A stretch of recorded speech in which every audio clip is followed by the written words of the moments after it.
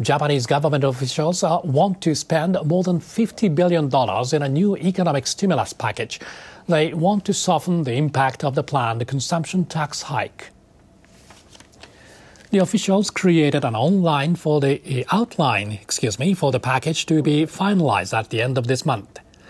It includes $3 billion worth of tax cuts for corporate investment. Companies that boost productivity by installing new machinery would get tax deductions.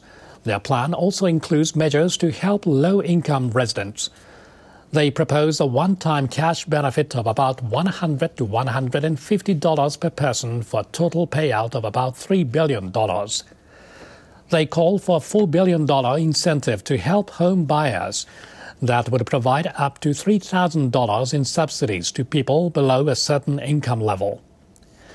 The plan also includes spending for repairing old tunnels and bridges. The officials also want to help small and medium sized manufacturers invest in their plants. And the officials say better infrastructure is needed in Tokyo ahead of the 2020 Olympics. The officials hope to scrap an extra corporate tax that was imposed after the 2011 disasters to help rebuild affected areas. But they have yet to secure support from some members of the ruling parties.